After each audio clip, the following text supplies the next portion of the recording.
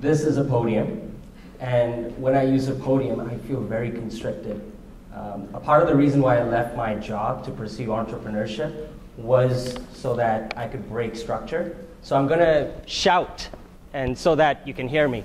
Can you guys hear me? All the way at the back? Good, good.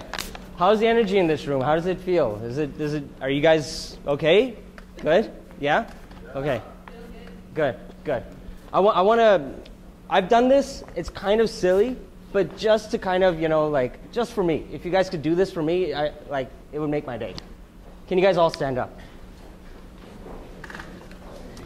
Okay.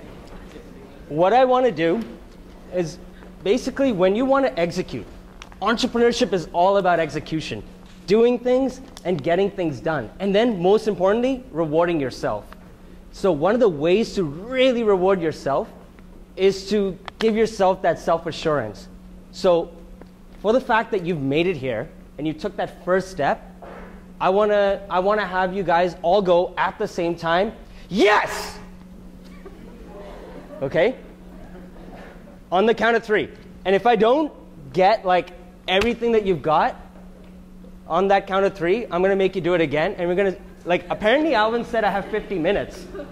Is that right? I have uh, around there. So, so I, I could use all 50 minutes to make you do this, just so you know. So on the count of three. One, two, three. Yes! Congratulations. You guys can have a seat down. Thank you for making it out here. I really appreciate it. Sorry I'm late. Uh, it's just that, you know, I was also speaking last night and I actually lost my voice and now I'm back and drinking lots of water, so I'm feeling a lot better. But thank you so much. And I noticed, you know, a lot of you have actually taken the time, spent the money, and actually come here to, you know, this business plan competition. So I just want you guys to shout out, like, why'd you guys come here? I just want to get a quick understanding. Why are you guys here? Shout it out. Fun? Sorry? To learn something. Okay. How about you? develop presentation skills and meeting with people. Amazing. How about you, Sarah? Mentorship. Mentorship. She's here to help out. We're, we're actually a group of, uh, you know, like entrepreneurs that actually support one another. Like we've been doing this for a while. We went through a lot of failures.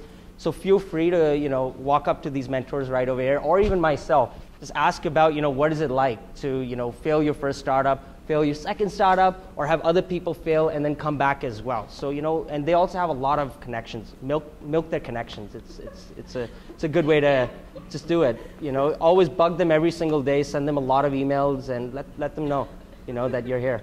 But uh, yeah, so I, I'm here to find out about you guys. Obviously, like, so how many, how many of you, like, is, is this your first startup? Let's ask that question. Show of hands. Is this your first startup? Raise your hand. Okay. Second startup. Like second, second time doing this. All right. Entrepreneurship is all about failure. Basically, doing things and then failing, falling flat on your face, and then coming back. Even if it's your business model that evolves into something that you know you really want it to be. So, how many of you are here because of digital media, internet, that sort of a thing? Okay. And what, what are some of the other reasons why you guys are here? What, if you have something in mind, you know, in terms of an idea and whatnot, just call them out. You don't have to say what your idea is, but like what kind of ideas are, are in this room? Buy a medical device. Fashion? Any fashion people? Anyone here in fashion? What if you want to start an app? Who wants to start an app? Okay, there's a lot of app people here. And uh, so then, how about let's say you know any, any other form of technology? What kind of technology? Okay, who does not have an idea yet? Okay, that's a, it's a pretty significant chunk. So we need to make sure that the ideas are concrete, and I think we've, we've started to realize that. So are you guys here because you're attracted to entrepreneurship? Is that a good reason why? Like, it, it, it gives you a sense that, okay, it gives you a sense of comfort that I have something here. You know, it, it's, it's kind of strange what's happening in the economy, right? You never thought you'd see the day that lawyers, people writing their bar association, bar, uh, uh, like the, the exams, they're not getting jobs right now. Is that true? Like I'm sure many of you guys have like friends that are lawyers and you know they're having problems. And on top of that, you know the, the people that you know have been around in the law firms, and I'm using this as an example, they, they're staying at their jobs. They're not going anywhere because they're worried about their pension and all that kind of stuff. So how do you how do you have that sense of security given that the job environment kind of sucks? You know, eh, our, our grandparents have actually said, like flat out, that we, we mess things up for you. So it's on you. Like, it's actually on you to actually, you know, take on your personal burdens, pay your bills, pay your liabilities in many cases as well, because, you know, obviously a university education isn't free. Uh, and then how do you move forward? How do you get out? And then, you know, even if you do get a six figure job, what, what, what are you going to do? You're going to spend the next 10 years paying your debt? You know, I guess that's why maybe a lot of people might be attracted to entrepreneurship. Let me tell you a little bit about myself. I, I as soon as I left university, and this was out in, uh, oh God, around uh, 2009, December 2009, I left, and I was out in Acadia, out in Nova Scotia, uh, went through a lot of ups and downs. Like, but I, but I finished. I, you know, I went through a lot of mistakes and things like that. I have a book coming out, so if you want to read about it later, I'll, I'll tell you about it. But uh, 2009, uh, you know, like I left and I pursued my first job. I had built a lot of contacts in, you know, about the year before, and I wanted to get into the banks you know, eventually I kept working my way, and it was really cool. I, I, felt really cool that I was in a suit, I was in the corporate world, and I was walking around, and I felt like a boss, you know? Uh, that, it, it, felt good. And then I got my promotion too, which, you know, kind of uh, amped up my ego as well. And so I, I, went out, and uh, I got into a business development role out in uh, wealth management for Scotia McLeod. And so, you know, I, I started working, you know, for high net worth research. So this was really awesome, and I was really intrigued by high net worth research, eh, you know, and how it applied to social media. And while at the same time, I was trying to run, you know, different startups, many of them failing. Like I, I failed a lot of startups, but I was, I was really attracted to entrepreneurship while working in the banks. Now, do you think working in the banks and having a business on this side might, you know, conflict? Yeah, right? So like what, what happened was eventually I started getting a conflict of interest. And I felt as if all my ideas that I actually had in the banks, I, it, it's being tossed out the door. And there's a reason why, because your boss might want to listen to his boss, and your ideas, because you're not experienced enough, you know, eh, well, what is it worth, right? What have you done? It's that kind of an attitude. So that kind of pissed me off, to be honest with you. I didn't like it one bit. Uh, so I left.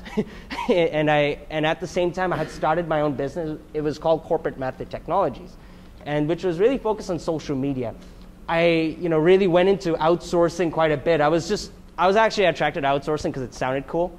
You know, when I, when, when I would go around, it's like, oh yeah, no, I'm dabbling in outsourcing a little bit. I, you know, I have this thing and I'm doing, you know, offshore or whatever. But, you know, that, and, you know, honestly, like sometimes we do things to make ourselves feel good. And that, that is, I guess, a lesson here. You know, you have to kind of uh, find it within yourself to just be as honest and straightforward as possible. But going back to that story, you know, I, I went out, I, you know, uh, got into, uh, got into corporate method, which is, you know, my company, my baby that I started. And next thing you know, I landed my first client. It was great.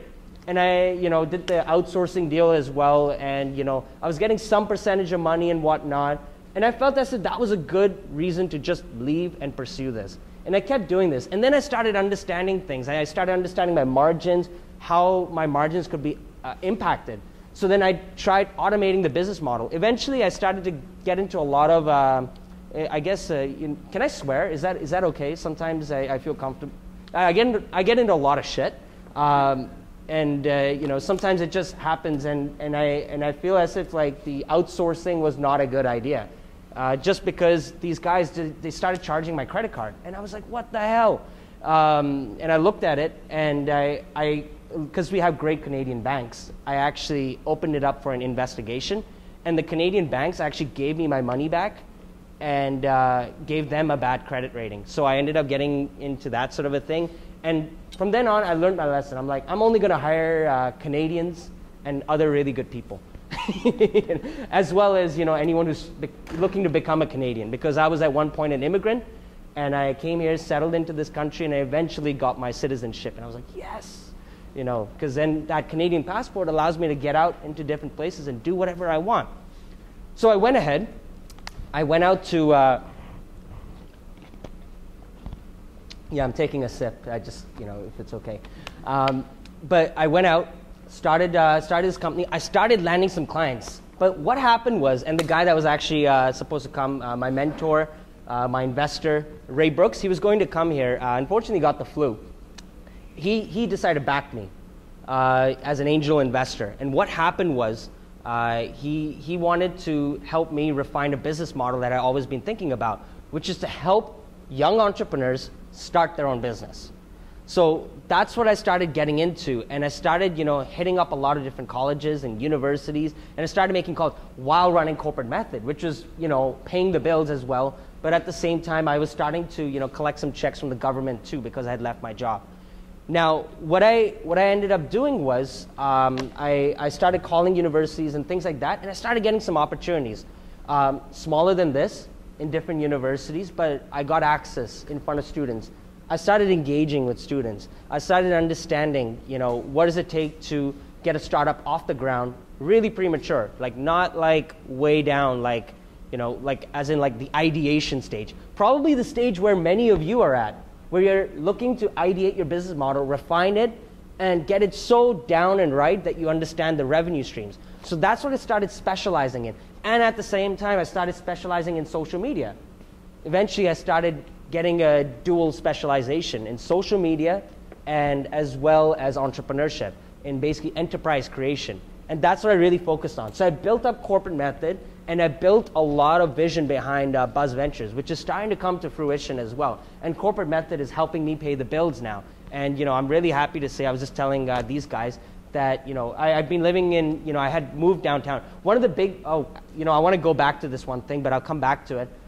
You've got to I know that you know you, when you're pursuing entrepreneurship, you you've got to negotiate with your parents, right? Is that true?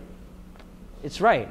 Yeah, let's let's admit it. Like imagine leaving your stable job, you know, leaving something that you, you could have become a doctor, you could have become a lawyer, you could have done you know, anything else, but you decide to start your own business.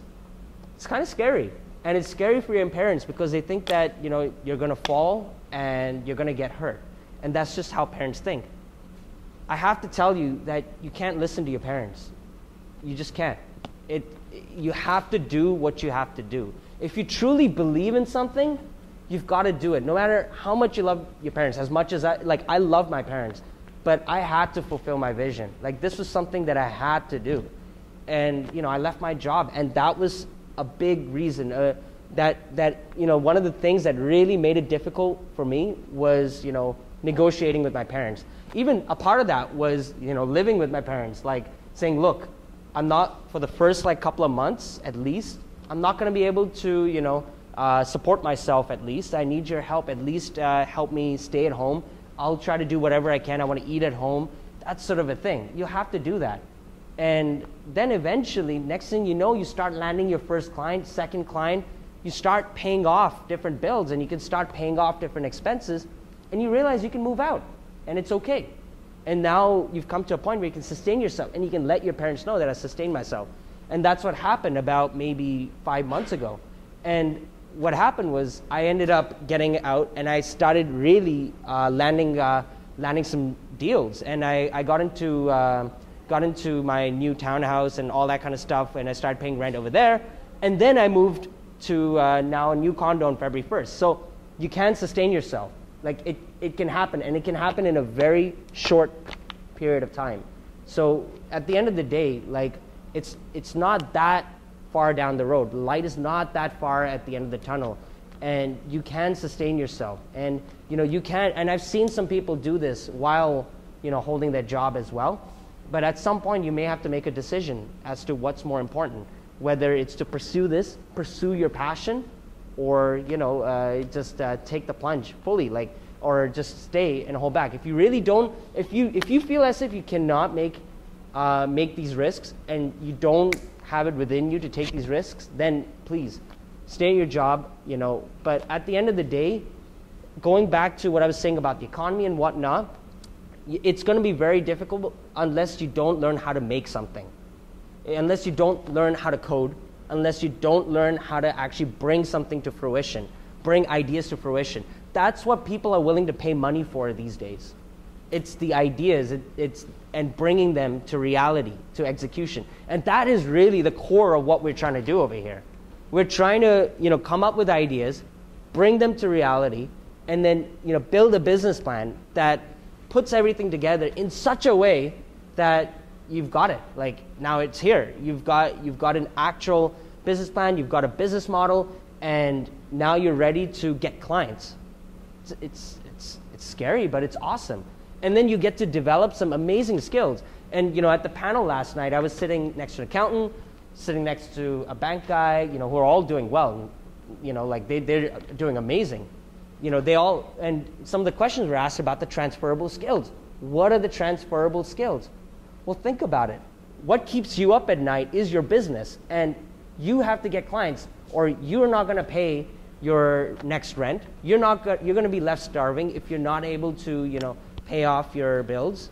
I mean, that's what it's all about, and that is a big part of the pride. That's how we support each other. I mean, these guys have fed me so much. they, they run a company called Food Vault.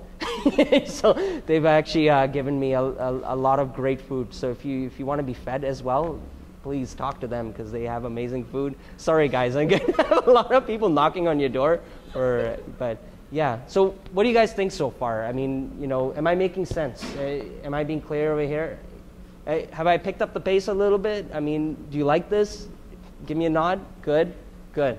So what, what do you guys, I want to hear from you a little bit. Enough about me. You've, you've heard about me. Like I said, I'm here for support.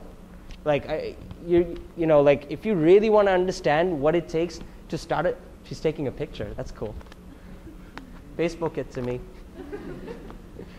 but basically, um, you know, if there's, uh, if there's any, you know, like questions, I'm here. Like, we're all here. We're all here to help. We want to see you succeed. Believe me. Like, we really, you know, entrepreneurship culture is lacking, and we are really at, you know, a tipping point where we're, this is our only opportunity to push entrepreneurship.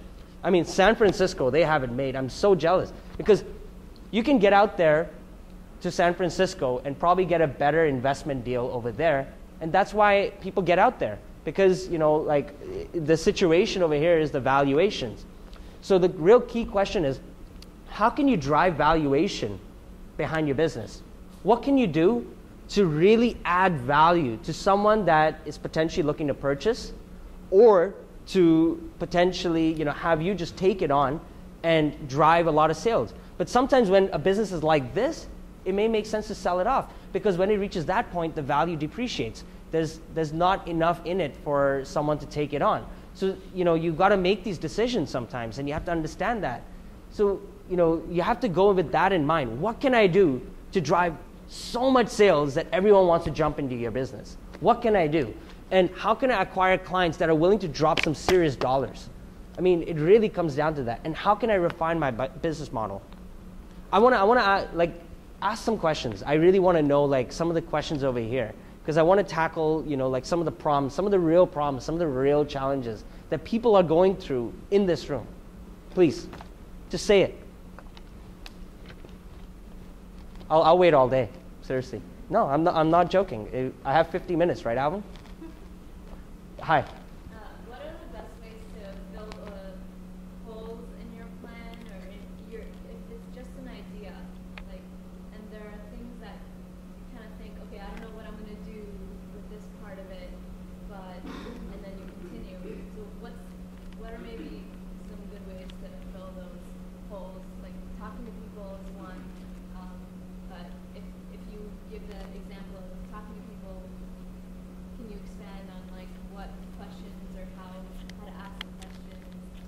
So let me let me kind of uh, kind of so basically what you're asking about is like the business plan itself, like in terms of writing a business plan or just kind of understanding the business plan and yourself. In terms of trying to understand your idea more clearly, because mm-hmm. usually ideas start as kind of this passion for whatever you come up with. Yeah. you have to think of okay, how is this actually going to make money? That's interesting. That's a great question. You know, I would point you to an amazing resource. It's called Business Model Generator. I'm sure many of you might have heard about Business Model Generator. Show of hands, how many of you heard of it? Okay, a couple people. It's good. Uh, so basically, what you know they've managed to do, it's really interesting, is they've got like sort of a business model canvas that helps you understand the, the, the things that were really important that struck out to me were you know your your ideal clients, your target market, your target group. You know who who are you trying to get this product out to first and foremost, and then your revenue streams. What kind of revenue streams can you get out of it? You know what can you do really to you know, first and foremost, identify, you know, your ideal client. This is my ideal client. But then how can I get enough revenues out of it? But here's the real key, key part that you need to understand. You're living in Toronto, so you're understanding about accessible markets. Whether your market is supposed to be, you know, within this Toronto region, or whether you need to get out to the GTA, or whether you need to go all across, Ontario. So if you're going to do that, how many of your ideal, ideal clients are in this vicinity, are in Toronto? How many of these people? And what can you do to find that out? Seriously, like, and, and that really helps you understand how it's going to make money because because if you know how many of these people are within this vicinity, like within this Toronto vicinity, and then in the Ontario vicinity, all that sort of stuff, then you get a real sense of how much, like what you can penetrate. And then you have to understand the conversion. You know, if I'm going to pick up the phone or if I'm going to approach 10 ideal prospects, 10 ideal clients, how many of them are going to say yes? Is it two? Is it three? How many do you feel confident will say yes to your product? And how do you test that? How do you get out there and actually test that with in front of your ideal clients? What kind of marketing would you have to do to really get out there and test that? And that, that is really the core of how you, how you do it. And that gives you more confidence that yes, this product works. Yes, this is it. I understand it. I get it. And then you get a sense of how much you should charge. Because you know, you may do some surveys, you may you know, do some feedback, some market analysis, say whether it's going to be $6 or $5. Then what you can do is you can have a forecasted revenue. That's where you understand the value behind your business. Because you could say that I went out on Dundas Square, you know, and I sold my cookies, and I said, okay, it's going to cost two or three dollars or whatever, and so many people bought it, and therefore I understand that you know out of this many people that approached it, you know, this many people uh, said yes, and because of that, if I do this so many times in a year, I can accumulate this much revenue. Am I making sense, guys? Okay, good. So that will help you get an av- a- like an annual pro- forecast. And what you can do is that estimate, you can break it down. You can break it down on a on a monthly average, on a weekly average, on a daily average. And then you know every day you'll be able to get this much revenue. That's kind of cool, right? Like and that that actually is intelligent when you're having a conversation. When someone when an investor is you know, potentially interested in your business or whether someone wants to find out about your business, you can demonstrate to them that, look, I understand my business model. I know my problems. I know my challenges. And I'm trying to get to the core of it. And I'm trying to understand every little thing possible to really get to the bottom of my business plan. That's how you do it. Did that help? Reach out to me. Like, look, also, guys, I just want to let you know um, I'm doing a five-hour business plan session on uh, Alvin. Are you here? What day? What day am I doing this? Friday. On Friday. So like at 1:30? Is it 12? Well, yeah. When does that start? 1:30. So I'm doing like a five-hour thing. I can explain you all this stuff so that it gets in your head and you guys know like how to do it. Like and no cost, obviously. Like as of now, like it's it's use me seriously. You know, I, not in that way, but like use me. Seriously. But yeah, what other questions? Now that we've answered, we've tackled one person's challenge. Is it possible to bootstrap a startup while we have a regular position? So explain again. Uh, is it possible to bootstrap our startup while we have a regular position and a company? Yeah. So as I explained, I was working in the bank. Um, you know, while I was doing this, yes, it is very much possible. Uh, your boss might think it's a little odd sometimes, but you can get around it because most, from what I've found, most people are very supportive. Um, and there's nothing stopping you from taking a sabbatical. So what are the major difficulties? Yeah, they're like obviously time and fatigue. That is really like you can support yourself, no problem, but time and fatigue is bad uh, because if you're working on this yourself, because if you're not able to delegate yet, if you don't really have someone, if you don't have the connections to be able to just pass the work on to someone, then it's really about the fatigue aspect. Uh, you can get really tired doing this, and that, that is the problem. You can lose a lot of motivation. Um, you know, but if, you, if the idea is something that you really believe in, you'll find yourself, like what I did, what I used to do was I had my lunch hour between 12 to 1 when I used to work at Scotia, and I actually would go during lunch hour into the conference room and I would make cold calls from the conference room. So, you know, think about how silly that is because, you know, like it's it's crazy, but that's what I wanted to do. And that's how I landed my initial clients. You know, that's what really got me going. And this to think about, that was about a year and three months ago, around there.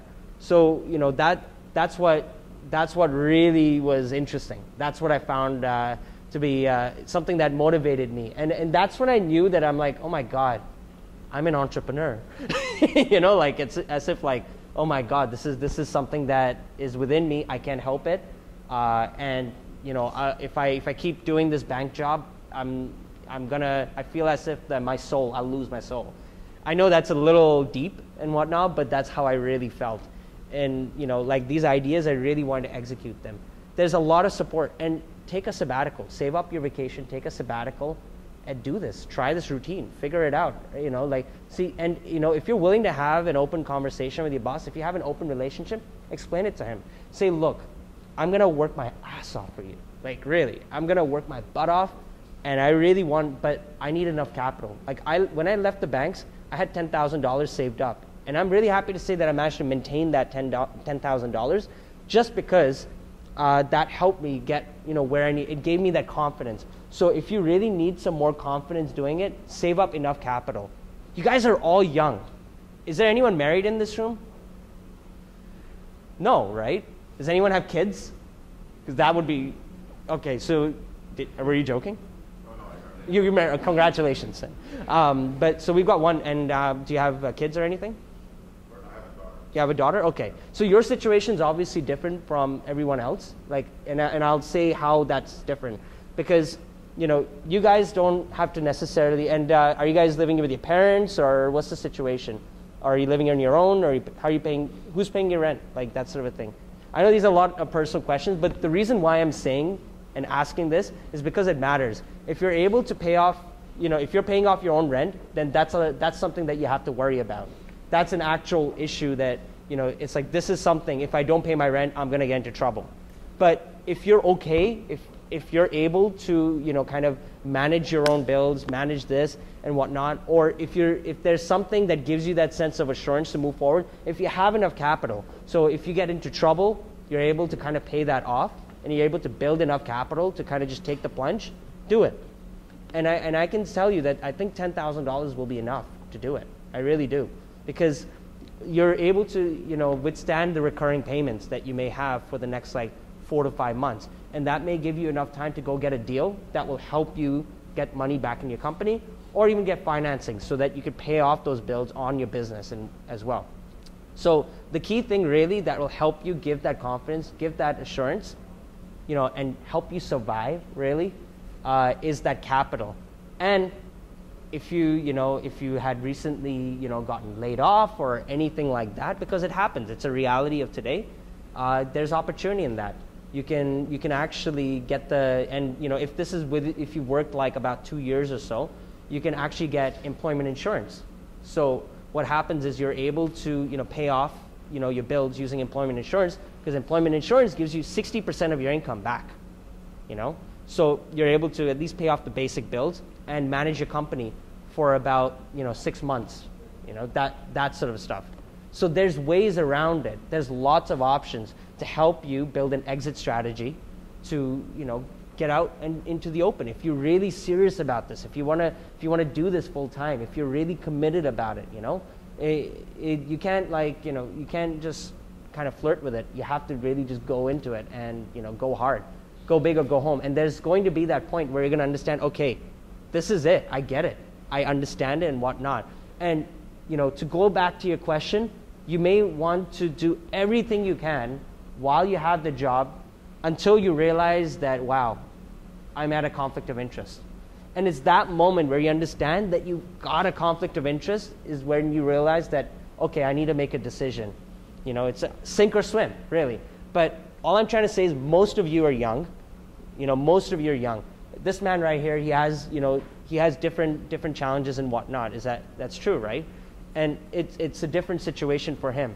But if you're if you're going through that phase where you haven't got the liability of a mortgage yet, uh, whether you know you're you're not you're not married yet and that sort of thing, you don't have those kind of commitments, then you can make mistakes, you can fail, and you can you can make those repeated mistakes and learn from them. The the big thing, this is why th- this sort of movement is great. Universities, you know, they've only just started opening up to the entrepreneurship culture, you know, and even if like they've opened up, it, it's very much so that they're very afraid of failure too. Um, they don't like failure at all. And entrepreneurship is all about failure. Ask these guys right here. It's all about failure. Has heard of CYBF? How many of you have heard of CYBF? Okay, only four people in this room have heard of CYBF. Oh. And so, you know, I, the interesting thing, how, old are you, sir? 29. Even this man can get a CYBF grant. Seriously, Canadian Youth Business Foundation. So a CYBF is pretty much like a forgivable loan uh, that they will give you if they like your business plan. Uh, they mark and grade your business plan and whatnot, and you know it's actually a, like you know like it's marked the same way we'll be marking your business. Sorry, They also have momentum momentum exactly. Take a loan. But here's the interest. Exactly. And guess what? Most of these government funded programs, they get matched. So CYBF, if you got like between twenty to thirty thousand dollars from CYBF, it'll get matched by the BDC. Seriously. So then next thing you know, you have about fifty thousand dollars. It, it happens. It happens all the time. Your universities also have fellowships and they have grants that they do give to, uh, it's called the SEB, Science, Engineering, and Business Student Grant, which is about fifty thousand dollars, um, or thirty thousand, depending, each university offers a different amount. So you guys can go and look into that as well. there's so many ways around this guys like it's not even funny so like you can get the support you need your government wants to see new businesses succeed. Because if that doesn't happen there won't be job creation. It just won't happen. And if there's no job creation then we don't have publications saying that there's job creation. It's as simple as that. You know that's a good way to put it right? So you know and it's very important because big people they want to see job creation. And if that's not happening, then Toronto is not a great, great place to do entrepreneurship. I'm happy to say, though, that Toronto is starting to become a great place to do entrepreneurship because eh, we're all of a sudden starting to see some resources open up to us. And I feel as if it's important that we take advantage of these resources to at least indicate that, look, this is what we're doing, this is how we're going to do it, and this is where we're going to go. And next thing you know, you all become success stories. You guys can all, you know, like start speaking about this, speaking about your experiences, telling people, inspiring people, and motivating people to start their own company, do things, make challenges, make failures, all that sort of stuff. And you can then get better. You know, you, you can have that, you know, motivation to create things and, you know, uh, find, find different ways to collaborate, innovate, and, you know, find new ways to move into new territories. Does that seem awesome or what? And never give up. Will And never give up, exactly. persistent. Yeah. I want to take a few more questions before I get out of here. Before I get out and uh, you know let you guys get out and do what you got to do. But come on, more questions. You've got an opportunity here. You know, you've got an op. Yes. Uh, So you were mentioning uh, market research kind of indirectly about standing on the corner and asking questions. Uh, Can you give some other examples of how to do market research on your own without any help from other companies? Absolutely. So there's, in fact, I, I would urge you to do market research, you know, by yourself initially, so that you understand it as much as possible. It's social media metrics. A, a lot of social media metrics out there that you can use. Um, you know, the key thing is to have an understanding of how to gain these analytics. So as soon as you set up a website, as soon as you set up, you know, different entities, diff- like shopping carts even, as soon as you set up, set up all, all sorts of stuff that is online based, you can put in the footer code of each, uh, each HTML page, uh, you know, an actual code that tracks the Google Analytics. Uh, and, that, and that is really important. A lot of Web 2.0 uh, sites actually, you know, give you tracking and analytics. It's just that many of us don't look at them. And then we start to understand how many people are accessing our, uh, uh, our, our website on the Facebook, on a mobile device, or you know how many people are liking, you know that sort of a thing. So like that's really important eh, because that gives you a sense of how many males, females. Right there, you get you get an idea of how many people actually are interested in you. Go to your website and find out more about you. That's important. It, it really is because that right there is market research at its core. Uh, now you're finding out like the popularity of your website, you know whether you know people are willing to engage, and and now there's metrics that allow you to find out about engagement, and help you see an ROI, a return on investment, for each dollar you spend. So if you spend even as low as ten dollars on Facebook um, advertising, you can actually see your return. You know, they'll estimate your return. You can see, and you can you can target your market as much as possible. You can say within 18 to 24, uh, within this uh, country, like from this country, and you know have to be like this ethnicity, that sort of stuff. You can do that, and you can actually you know pay a few dollars for it actually. To under, and then you actually get your return, and you find out how many people actually liked your Facebook or whatever, or uh, actually you know went to this part of your website. That sort of stuff, it can happen and these are called conversions. And that on its core uh, is market research, all in all. It's the new way of market research, and you can do this. It, it, it's, you can do this. Yeah, well, it, it, that, there's two scenarios right there, because my, mine was a bit of politics within that startup. Like, you know, it just, it, like, it just didn't work out uh, for that reason. And then, you know, yours was you have another idea. Like, look, if you have another idea and you just want to do it, do it. Because what's happening is this startup right here is not what you're passionate about, and chances are, if it doesn't belong to you, you're gonna just get a job in that startup, and that's it. And you know, it's a salary at the end of the day. If you own your own business, you could pay yourself whatever salary you feel is comfortable to you, and then put back the rest into the business. So at the end of the day, you're thinking about yourself here, and if your if yourself is more important to you, which I do recommend, you know, I, I would take that latter, you know, plunge because you're not, you're not going to spend the rest of your life working for someone else. That's the reason why you're, you are sold on entrepreneurship, right? Um, at the end of the day, it's very easy to, you know, like people will understand. If you, if you just, even if you put in writing and just let people know and give them, you know, good, good credit for everything, teaching them all these lessons and whatnot, and just say sayonara. It's, there's nothing wrong with it. It's, it's straight up business, you know? And, and, keep your personal friendships. Let them know that, you know, love to be friends, love to support one another.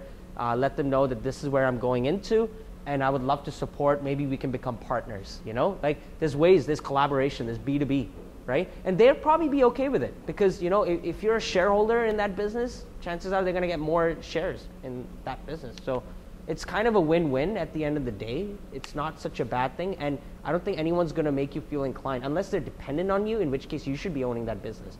If they're dependent on you, like if, if you're the person making all the stuff, making things happen, then you should have your own say. It's it's it's all you. Like you know. Does that help? Great. More questions? Any more? You guys okay? Okay, good. So guys, I want to tell you just a little bit, you know, about what I do and whatnot. Um, basically, you know, as you know, like my ladder company helps young entrepreneurs start their own business. I don't charge money for it. Uh, basically, what I do is I take a percentage of shares in each company that I feel as if I could, you know, help out and whatnot. If you feel as if I could add value, if you feel as if, um, you know, I would make a good business partner, I usually take 10 to 15 percent off the shares of the new startups. I have about uh, 13 startups in the city that I've helped get off the ground, and now they're approaching positive cash flow. So I basically own a portfolio of companies, new startups, new innovative startups, because I truly believe in this philosophy of helping new businesses, startups.